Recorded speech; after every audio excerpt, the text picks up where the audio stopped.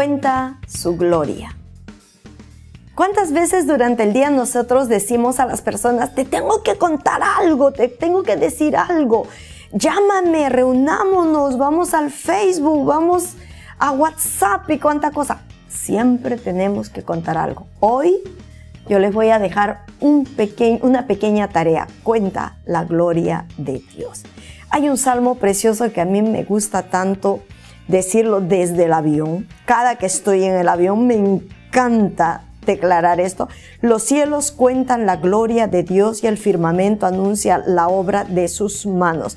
Desde ahí puedo ver el mar, puedo ver las nubes, puedo ver tantas cosas lindas que en la tierra no se pueden ver.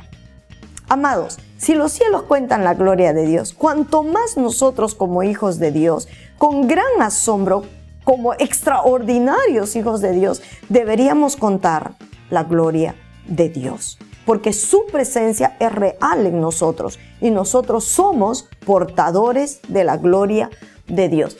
¿Alguno recuerda algo si ha leído, ha estudiado sobre el tabernáculo de Moisés? En el tabernáculo de Moisés, donde la gloria de Dios descendía, era en el arca del pacto. Y cuando tenían que desarmar todo el tabernáculo, esto lo llevaban cargado por todo el desierto hasta que Dios les dé la seña de volverlo a erigir o armar en otro lugar. En esa arca del pacto la gloria de Dios era vista. El arca del pacto era el único mueble dentro de un recinto llamado el lugar santísimo. Esa gloria ya no tiene un tabernáculo llamado Moisés. Esa gloria ya no tiene un tabernáculo llamado el tabernáculo de David. Esa gloria ya no tiene un lugar llamado el templo de Salomón. Esa gloria vive en ti, vive en mí. Nosotros somos portadores de la gloria de Dios. Por eso nosotros somos portadores de las buenas nuevas que Jesucristo nos dio a través del nuevo pacto. Nosotros somos portadores de buenas noticias. Ustedes escuchan a alguien que dice, tengo dos noticias, una buena, una mala, ¿cuál quieres? Generalmente las personas dicen, dame la mala primero, porque siempre quieren tener un buen final. Pero qué bueno las personas que vienen y te dicen a ti, tengo dos noticias, las dos son buenas. ¡Wow! ¡Qué tipo, qué tipa el que se me presentó para darme buenas noticias! Así es.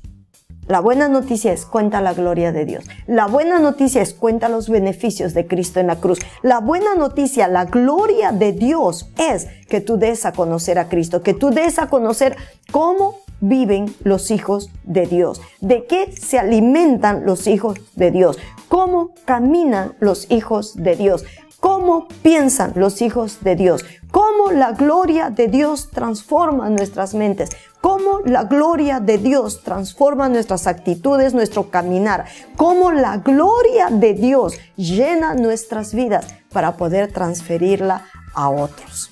Dios es bueno.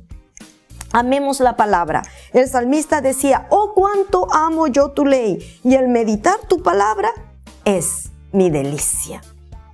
Que sea tu delicia el meditar la palabra de Dios. En Josué 1.8 dice, nunca se aparte de tu boca este libro de la ley, sino que de día y de noche meditarás en él, para que hagas conforme a todo lo que en él está escrito, entonces harás prosperar tu camino y todo te saldrá bien. Recuerden siempre que Dios es fiel, muy fiel, demasiado fiel.